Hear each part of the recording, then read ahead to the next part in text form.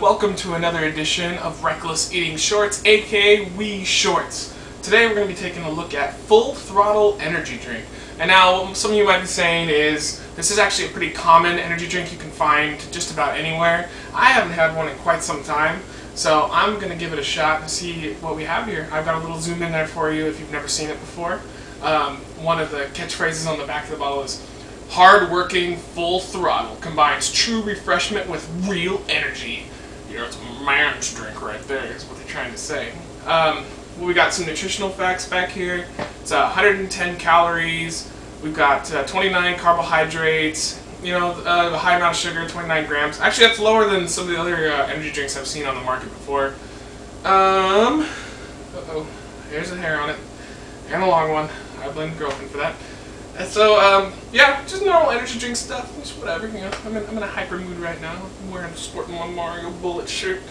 Um, let's give this a go. Why not? Because I love energy drinks and I'm going to have tons of uh, kidney stones because of them. That's really good. Mm-hmm. I totally dig that. Yeah. You should definitely give this a shot. It's, uh, it isn't a, a Rockstar clone. It isn't a Monster clone. It feels like a happy medium in between them. I really like it a lot too. It's good. Um, I can't really say anything more than that. It's got a nice citrusy flavor going on. It's really strong. I'm, a, I'm like a soda-holic, so anything that is above a soda, I'm, I'm down for it. I'll give it a go. So yeah, if you're out there, and I'm sure you'll see this, it's everywhere. It's quite common go out and give it full throttle a try if you haven't before. I think it's totally worth it. Let's give one nice. Oh yeah, yeah. I feel as though this truly combines true refreshment with real energy. Wow. So go out and give it a shot. Thank you for joining us for another WE Shorts.